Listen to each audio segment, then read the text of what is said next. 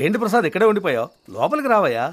Coffee తాగుతుంది గానీ. మూడేళ్ళ నుంచి అదిగో ఇస్తాను ఇదిగో ఇస్తానని బాకీ తెచ్చకుండా తిరుగుతున్నావు. కొంచెం ఓపిక పట్టయ్యా. అప్పు తీర్చేస్తాను. ఉండేది అద్దిల్లు. పంట ఎండిపోయింది. పొలమేమో తాకట్టు పెట్టి ఏడ్చావు. ఎలా అప్పు తీరుస్తావు? నష్టపరిహారం కోరి కలెక్టర్ గారికి పిటిషన్ పెట్టుకున్నాను. తప్పకుండా వచ్చేస్తుంది. ఓ వారంలో తీర్చేస్తా. ఎలా?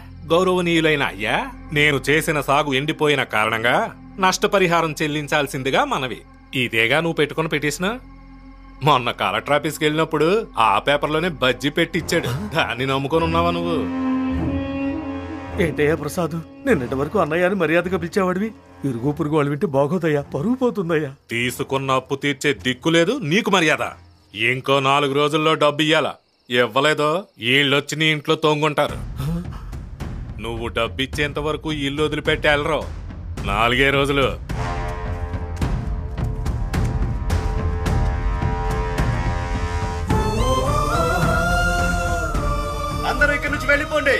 కలెక్టర్ గారికి ఒక ముఖ్యమైన మీటింగ్ ఉంది. ఏదైనా సరే రేపు కలెక్టర్ ఆఫీస్కి వచ్చి పిటిషన్ ఇమ్మన్నారు. ఎన్నిసార్లు పిటిషన్ ఇవ్వాలయ్యా? పైరంతా నీరు లేక ఎండిపోతుంది. వడ్డీ కప్పు తెచ్చి వ్యవసాయం చేసినా ఓ పూట తిండికి కూడా గతి లేదు మాకు. అందుకని రోడ్డుకి ఇలా అడ్డంగా కూర్చొని పోరాటం చేయడం తప్పు. అందరూ ఆయన్ని ఉదయం ఆఫీస్కి వెళ్ళి కలవండి. ఆయన అక్కడ మమ్మల్ని కలుసుంటే ఇక్కడ మేమెందుకు ఇలా ఎండలో ఎండుతాం? ఇదిగో ఈ పైరు చూసారా? ఈ పైరు మాత్రమే కాదయ్యా. మా బతుకులు కూడా ఎండిపోతున్నాయి ఆయన్ని రమ్మని చెప్పండి అయ్యా. దేవి మేడం ఎలా ఉంది? ఆవిడ బాగున్నారు సార్.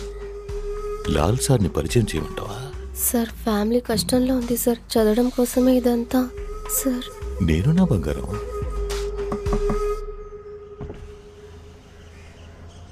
ఏంటే? ఎంతో నచ్చ చెప్పాం సార్. ఎవరో మాట వినడం లేదు. ఒకసారి మీరు వచ్చి చెప్తే వెళ్ళిపోతారు. సిగ్గనిపించట్లా? వాళ్ళని తరిమేసి వచ్చుంటే షోల్డర్కి ఇంకో స్టార్ ఎక్కుండేది. పోవే. సార్ అక్కడున్న వాళ్ళలో వయసు అయిన వాళ్ళు గర్భిణీ స్త్రీలు ఉన్నారు. పాప పుణ్యాలు చూడడానికి ఆ పోలీసులు వచ్చారు ఆ? వీళ్ళు చీటికి మాటికి పోరాటాలు చేస్తున్నారే. ఇక వీళ్ళకి పోరాటం అనే ఆలోచనే మనసులో రాకుండా తరిమి కొట్టేస్తావా? ఓ. బ్రదర్ అక్కడ ఏంటి సమస్య? వాళ్ళకి వేరే పని లేదు సార్ ఏదో రైతు పోరాటం అట సూలింతే నువ్వెందుకమ్మా ఎండలో? ఇంటికి వెళ్ళమ్మా పర్వాలేదన్నా నేను ఏడనే ఉంటా.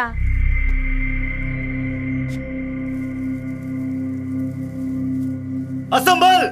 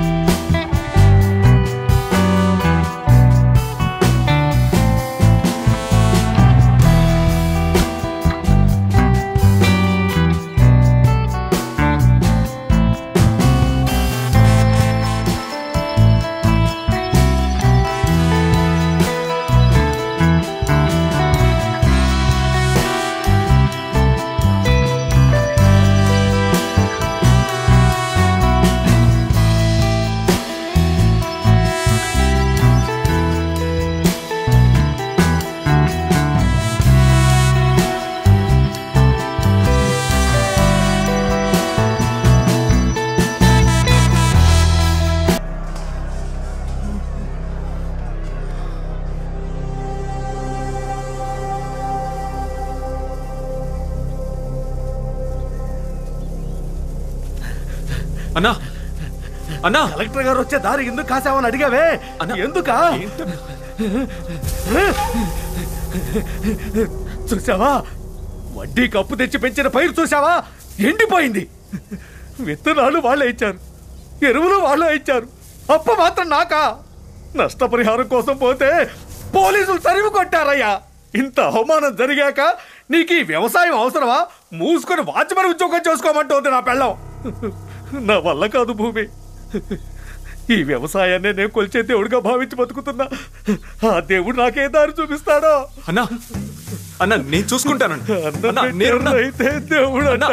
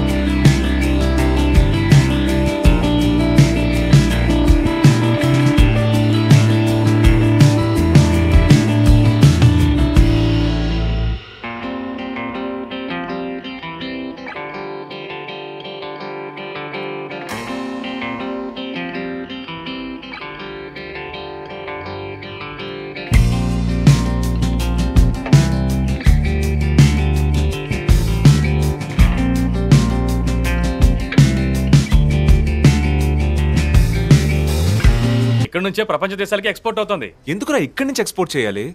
వాళ్ళ వాళ్ళ దేశాల్లో మ్యానుఫ్యాక్చరింగ్ చేసుకుంటే ట్రాన్స్పోర్టింగ్ ఖర్చులు మిగులుతాయి కదా? అది వీలు పడదుగా. వాళ్ళ దేశాల్లో కార్ మ్యానుఫ్యాక్చరింగ్ చేయకూడదని బ్యాన్ చేశారుగా. ఏంటి బ్యాన్ చేశారా? ఒక కార్ తయారు చేయాలంటే మినిమం ఐదు లక్షల లీటర్ల నీళ్ళు కావాలి కదా. యావరేజ్గా చూసుకుంటే రోజుకి రెండు కోట్ల లీటర్ల నీళ్ళు కావాలి. ఒక రోజుకి రెండు కోట్ల లీటర్లా? ఏంటి మామ దీనికే షాక్ అవుతున్నావు? మా పక్కనున్న జీన్స్ కంపెనీ వాడు రోజుకి మూడు కోట్ల లీటర్ల నీళ్ళు వాడుతున్నాడు. నాగలాపురంలో ఉన్న కాపర్ కంపెనీ వాడు రోజుకి ఐదు కోట్ల లీటర్ల నీళ్ళు వాడుతున్నాడు. వీళ్ళంతా పర్వాలేదురా. ఆ కోలా కంపెనీ వాడు ఉన్నాడే వాడు రోజుకి ఎన్ని కోట్ల లీటర్ల నీళ్ళు వాడుతున్నాడో ఎవరికీ తెలియదు సౌత్ ఆఫ్రికాలో నీళ్ళు లేవు కదా. అందుకే ఇక్కడ బాటిల్స్ తయారు చేసి డాలర్స్ కమ్ముతున్నాడు. ఇలా మొత్తం కంపెనీలన్నీ నీటిని లాగేస్తుంటే అక్కడ పాప రైతులందరూ నీళ్ళు చాలక పంట ఎండిపోయి నష్టపరిహారం కోసం పోరాటం చేస్తున్నారా? ఎవరు మామ? విశ్వనాథం అన్నయ్య? ఆయనకి అసలు బుర్ర లేదురా. ఎలక్షన్కి ఇంకా మూడేళ్ళున్నాయి. అప్పుడు రైతు ఓట్ల కోసం నష్టపరిహారం రుణమాఫీ అని పిలిచి మరీ ఇస్తారు. ఇప్పుడు పోరాటం చేస్తే కిందేసి తొక్కి పారారు వ్యవసాయం చేయమని ఆయన ఎవడడిగాడ్రా? కాలానికి తగినట్టు మారాలి. నాకు పదమూడు ఎకరాల పొలం ఉంది. ఎందుకు వ్యవసాయం మానేశాను? మానేలేదంటే విశ్వనాథం అనేలాగా రెండు లక్షల రూపాయల అప్పే మిగిలి ఉండేది నేనున్న కంపెనీలో పనిచేసేది ఎవరు? అందరూ వ్యవసాయం మానేసిన రైతులే మామా. మేము ఇప్పుడరా ప్రశాంతంగా ఉన్నాం. రోజుకి ఎనిమిది గంటలే పని. యూనిఫామ్ ఇస్తున్నాడు. ఒకటో తారీఖు కల్లా జీతం అకౌంట్లో పడిపోతుంది. చీకు చింత లేదురా.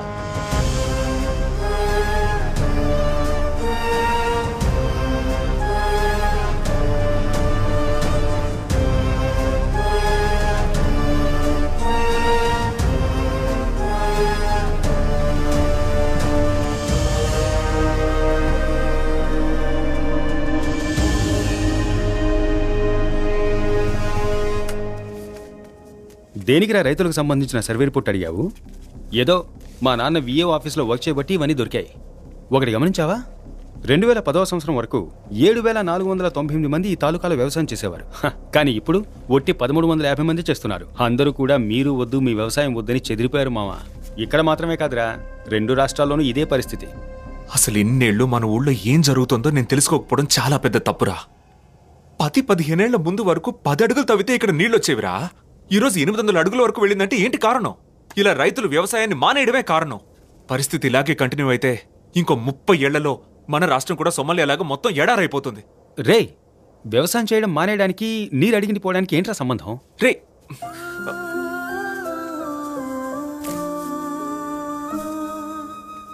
రే భూగర్భ జలాలకి ఆధారం ఈ వేరులేరా? వేరేగా నీటిలాగి భూమికి పంపిస్తుంది.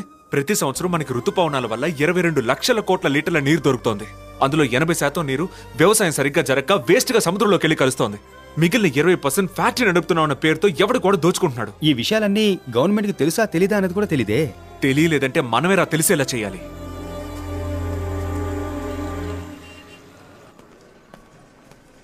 సార్ కలెక్టర్ గారు ఒక ముఖ్యమైన మీటింగ్లో ఉన్నారు.